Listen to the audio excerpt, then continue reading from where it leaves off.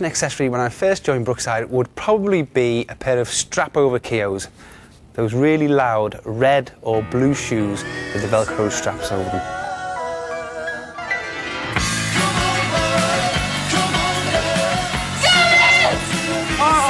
Come on now!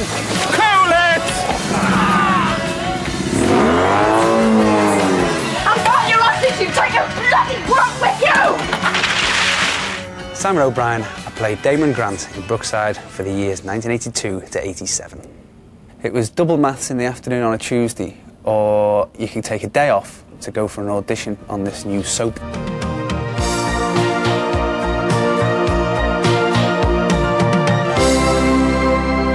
What the blazes? Is this where the graffiti is? Yes, but I prefer it if you didn't go in there. I never had any idea about the power of television when I first started. It's only about two or three months in when I suddenly went, oh my God, what have I done? Have you been in there, Damon? Oh, only messing about and things like that. Have you? I Suppose so. Damon, don't tell me you're practicing the kiss of life, aren't you? Do you find this defendant guilty or not guilty of conspiracy to burgle? Guilty.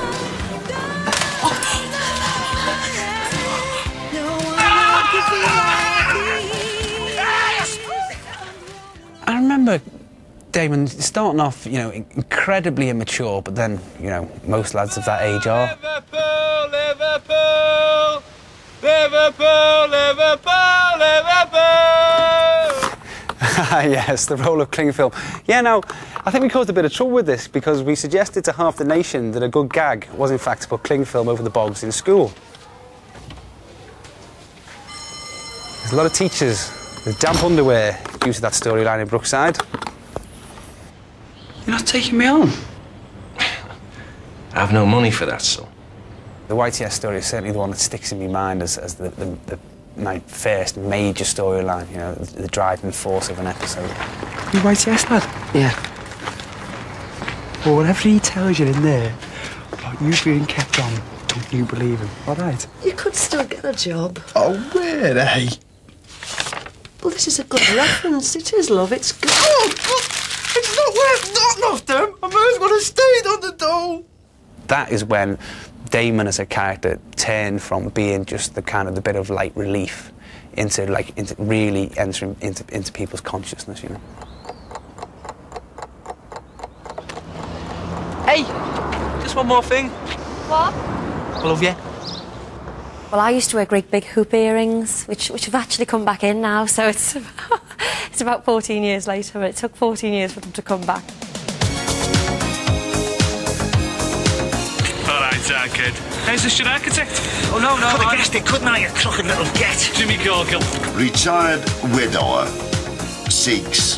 Same. It sounds as if you're after another fella. I'm only a dolly! Drive over me lawn! Come on, drive over me bloody lawn! Doesn't matter, I'm only a dolite! I'm Gillian Kearney. I played Debbie McGrath, and I was in Brookside for a year, playing Damon's girlfriend. I think you thought I was very young, didn't you? I know why that was. Possibly, That's 'cause I because was- you were very young. He's a little one eh, now with the short. Don't you remember it? It's his cousin, little Debbie McGrath. Little Debbie McGrath.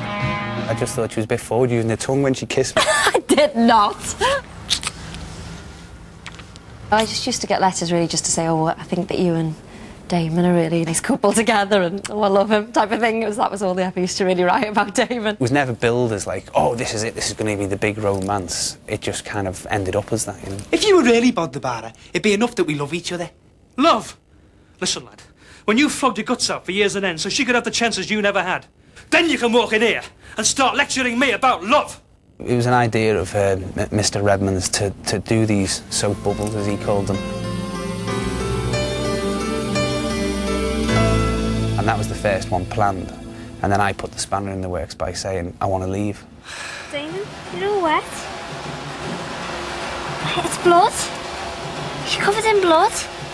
You were finishing at 12 o'clock, weren't you, that night? And it was sort of coming up to midnight, and we finished that, and he died on the steps. Damon, talk to me. That was the very last time I appeared in Brookside, yeah, because I think they had, they, had, they had a stunt nose for the coffin. Julie had to act her little socks off with this imposter as my dead body in the coffin.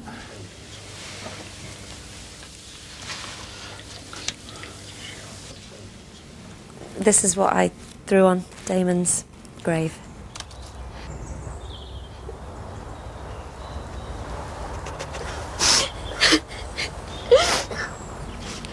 Never forget that. That's quite close, this. You can say that again. Sammy? Well, it's dead, isn't it? Compared to our real home. This is your real home now, girl. Isn't that right, Chris? Yes, it is. And everything's gonna be fine. Late 80s. Um, yeah, I suppose Doc Martens and all that was in. Everyone wanted to be a Brosette. I don't know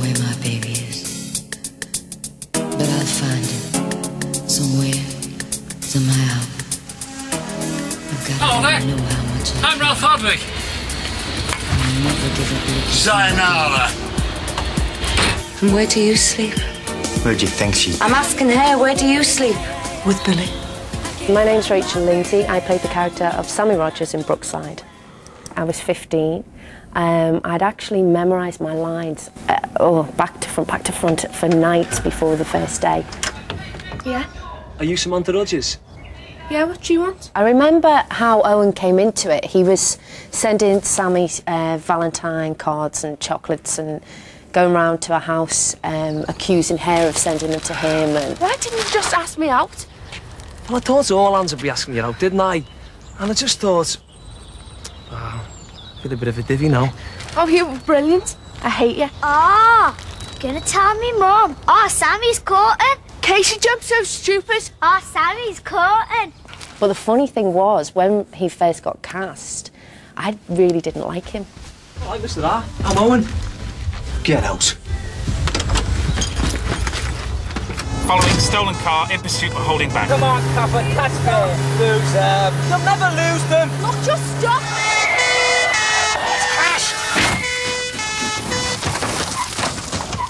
Um, after the crash, the character of Owen uh, went into a wheelchair, and um, Sammy was kind of scarred. And I think that's when the alcohol storyline first started. You have been drinking, haven't you? Don't talk soft. I can tell. Come here, let me smell your breath. That's got more significance now, actually, the bottle of vodka. Look here, have some of that. Doesn't half make you feel better. Oh, thanks. It scared me a lot because of the response from teenagers. I used to get an awful lot of letters from teenagers who drank, who had drink problems. So the relationship did go through a really, really bad patch at that time. What do you want to happen, eh? Next time she's gonna get me right. She's gonna do far worse on this unless I get some money. I'm Diane Burke and I play Katie Rogers and I've been in Brookside since December 1988, which is 12 years this year. I remember my first scene that I ever did. I walked into the living room like a piece of scenery and my arms were right down by my side and I went, Mum, I don't know which is yesterday's milk. Yesterday's milk won't hurt. I've used that. The only way I can describe it is like being at drama school. Um, I went to school like every other young person did. I did my homework, I, you know, did exams, but I had something a bit separate, like like going to a club. Oh, Mum, I only needed an ordinary biro. Yeah, I know, but I thought you might like a nicer one. Well, they'll all think I'm showing off. I wore this for four years non-stop. Katie had no casual clothes because every day when I came in, I got out of my old school uniform, my own one, into this one. Now you tell me what's going on, then I can help you. Not before. She'll kill me if I tell. Give us your bag. No. I think my first proper storyline was the bullying with Bagger. Go on. Give us it. No. Yeah, I think it was very true to life. I, I think they did it really well. I just remember thinking at the time, you know, this is what it's like for kids, you know, this is what really happens to them. It's all right you sounding up, but you can face up to it. I can't. Or you don't know what it's like. Is your mum or your dad in? Yeah, my mum's in the back garden. Well, could you go and get her for me, please? Hey, Mum, some fat fella here wants to talk to you. I was quite into Brother Beyond. I was 14 at the time, yeah. Brother Beyond and Wet, Wet, Wet. Fancied Marti Pellow. Tank fly, boss walk, jam, nitty gritty. You're listening to the boy from the big bad He's city. not This is mine, is he? Terry! He's not mine, is he? Terry! Nice one, girls. Cheers. That's it. Merry Crimble. Ho, ho, ho. Hey, it's my line, not you.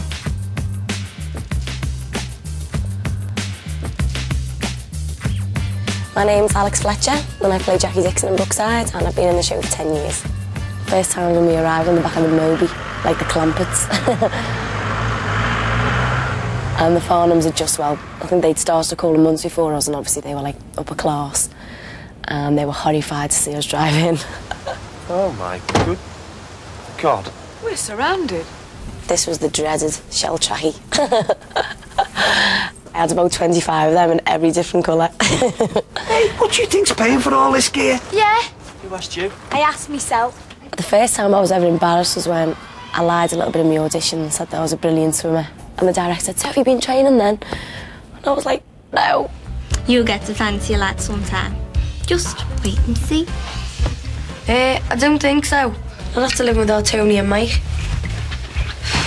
God, they put me off for life. I'm Paul Byatt. I play Mike Dixon in Brookside and I've been in the show for 10 years. I had a leather coat on, which didn't fit me. I was supposed to be the new James Dean of Brookside and I looked more like uh, Shaggy from Scooby-Doo. Pack it in, lad. Shut it, you, James Dean. Look, will you go home? Yeah, I think you better do one. Got to try this on actually, just, just, just to remind myself of how daft I look. what do you think, the fans? Sorry, Ma, I couldn't hear you. Well, I'm not surprised. I thought you weren't going to give us any more open air concerts. Oh, I've made a comeback. This will be a guitar and uh, that'll be from the time when Mike Dixon was in the band. And uh, that's about as good as you got playing it as well. What did we stop for? That was just going well, that. I just kind of fell into it because I was going to go off and do music and physics and go off to university and do a sound engineering course. And I just uh, went for the audition in my summer holidays and next thing, 10 years down the line, I'm still here. Oh, the dreaded video camera. when are they going to give me a break with this? I've got nothing else to do. I'll give them a video camera. I've walking around.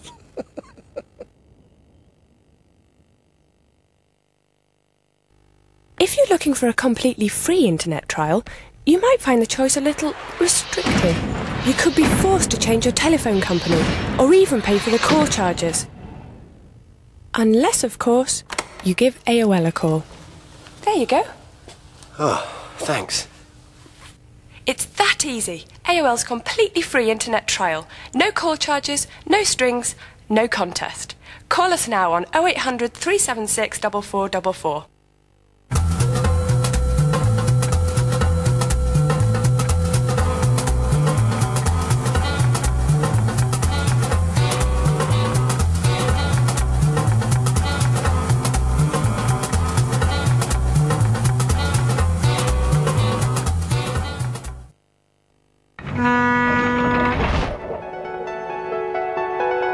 It's my mission to make sure you get the best of the catch.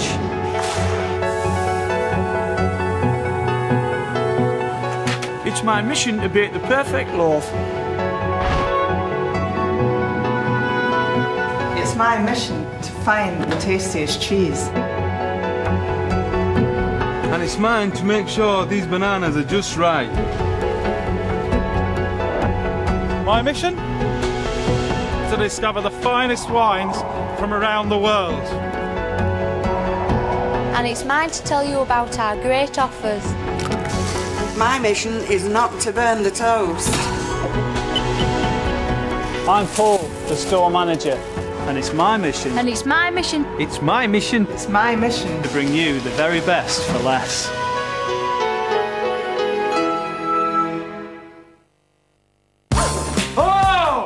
Your teeth into the funniest Ah! comedy of the year. Eddie Murphy, Nutty Professor 2, The Klumps. A bottle of what? That's not a drink, mate. That's the slippery slope. Any more of that, we'll all be swapping Auto Trader for a copy of OKR. Uh, you can laugh. We caught you sitting outside a wine bar with your life partner discussing organic veg. Time was we'd all come together for a chat and a pint. Now it's all Guatemalan bottle beers and chia ciabatta. Look, I know I'm harping on, but I'll keep harping on until every open-toe sandal is driven from this place and we can all live in peace with a pint of 4.3% Irish once more. If you find yourself slipping, son, remember, drink harp, stay sharp. Thorough cleansing can be hard work. Now, Laboratoire Garnier have created Synergie Pure Deep Pore Wash. Every day, the antibacterial formula with microparticles thoroughly cleanses and helps to dislodge impurities. Synergie Pure. Nothing to see but pure confidence. Synergie Pure Deep Pore Wash.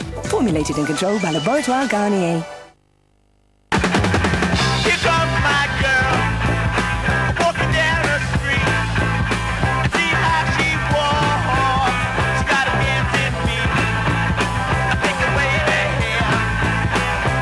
Every little piece of extra from Wrigley's instantly unleashes a mighty blast of mintiness that leaves your breath totally fresh. So why keep it to yourself? You can't get fresher than extra.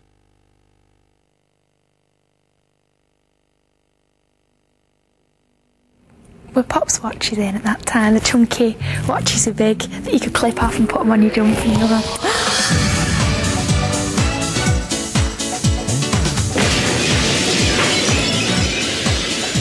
it was an accident. You have to believe it was an accident. Trevor. Hello, love. I'm Tiffany Chapman and I play Rachel Jordache and I've been in Brookside for about seven years. There was me, uh, Anna Friel who played Beth and there was Sandra Maitland who played my mum and then there was Trevor. Is mum okay? She's fine. She's asleep. Ah.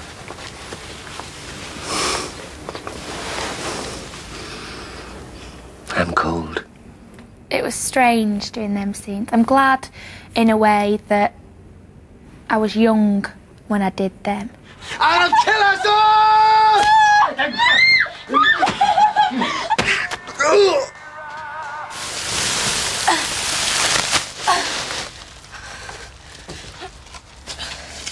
It just all seemed really strange, you know, and it's like not real, and you're just thinking, oh my goodness, it's really weird.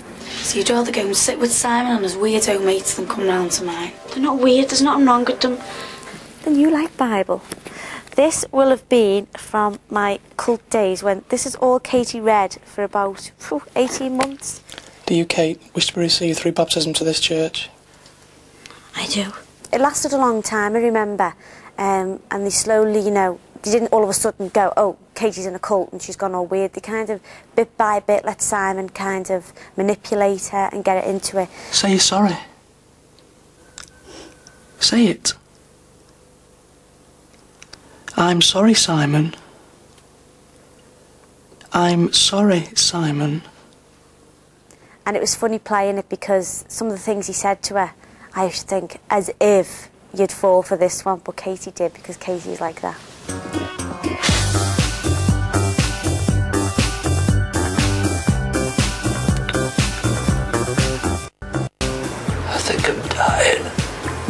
Rotting hell, Jimmy.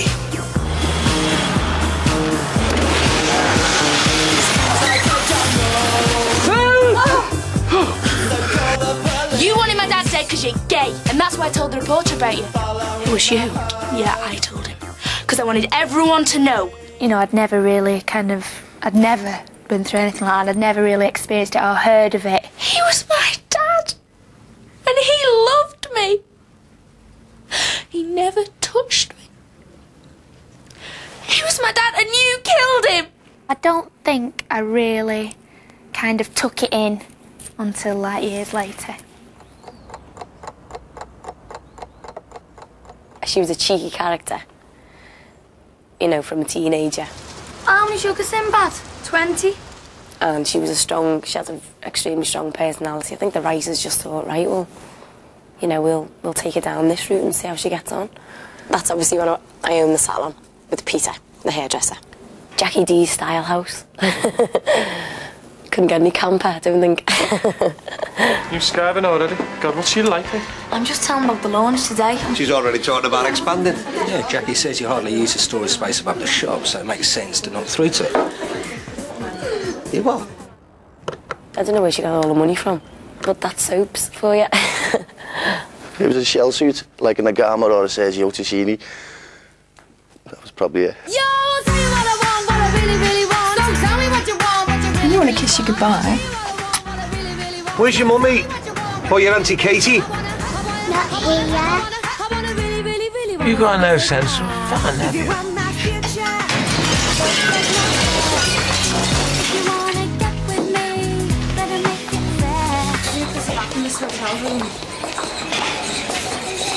What's happening?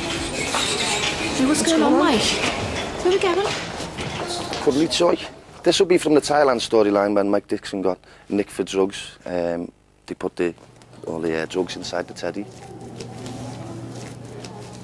We went to Manchester Airport and then I think the, the, the lighting fella changed all the lights to, to Bangkok and I think he put a bit of smoke in there and all that. And uh, but we did all the prison scenes in Childwall, just in one of the back rooms there. But they were good scenes to do. I've got to go home. There's nothing I can do this end. They've said I could get dragged into it. You can't leave me here. Oh, I've got to. It was a good storyline. The only problem with it was that I was out. I was in jail for like four months. I was in prison for far too long. I'm Philip Olivier, and I play Tim O'Leary in Brookside. I've been in Brookside about five years now. When I was told that I was going to play this part, Tinhead, first of all, I looked at this role and said Tinhead. Uh, I was thinking, oh God, what is this? They call me Tinhead because I can nut anything or anyone, and it doesn't hurt me. When the audience reacted to Tinhead the bully, um, they were kind of thinking that I really was him, and they were shouting stuff like, uh, Tinhead, why don't you try me on for size, and stuff like that. We have liftoff. Crap. Ah, rockets. This was when, close to when I first started Brookside, and I was a bit of a bad lad. I thought I'd experiment with rockets on firework night.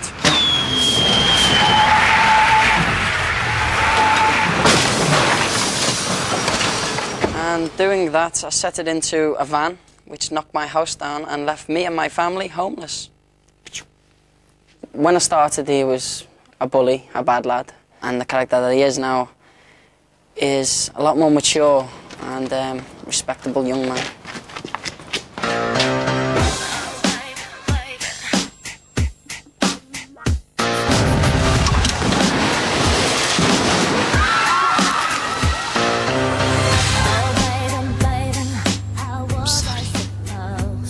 Musgrove, I'm arresting you for rape.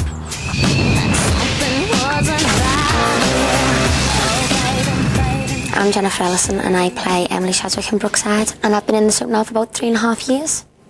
At first, there wasn't much to think of her. She was just a pretty normal, boring teenage girl. Better introduce you to the gruesome twosome, seeing as we're going to be neighbours.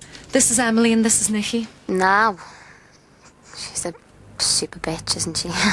You're just in time for the game. It's called not getting your head kicked in. I don't think it's made it any more difficult growing up.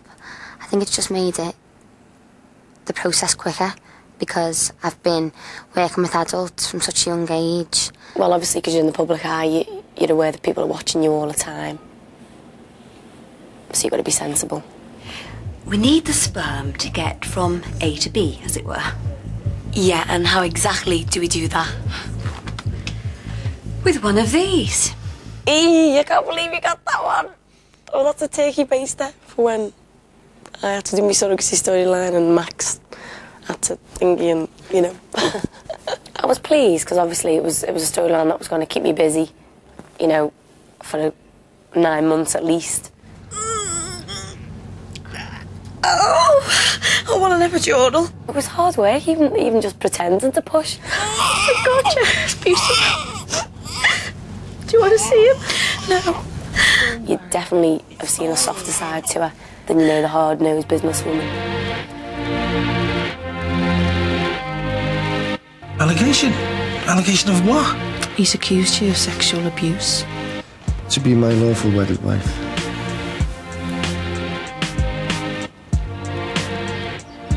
I do. Come on, admit it. It was you, wasn't it? Yeah.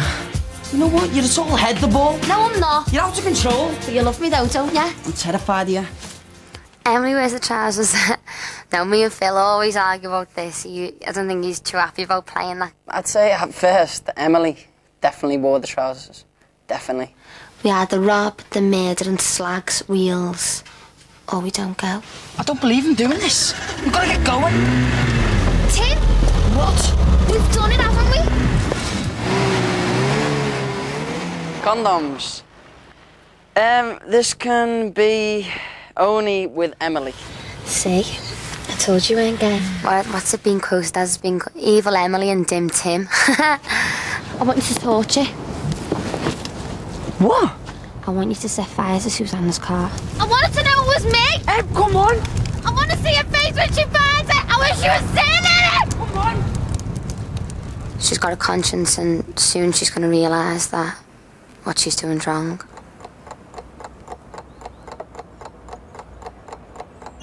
This was a once in a lifetime opportunity. Came out of the blue, and the idea was to do it for a couple of years, mess about, have a look at this industry, and then go back to what I was doing anyway. Um, it just it didn't actually work out like that. It's just been like a, a great job and a great opportunity, and I wouldn't change a thing. Definitely no. This is when Bev made this dress. oh, let me do that again. I wasn't expecting that one. A vase. You've absolutely stumped me on the vase. I have no idea what relevance this vase has to any storylines I did in Brookside. Happy 18th birthday to all at Brookside.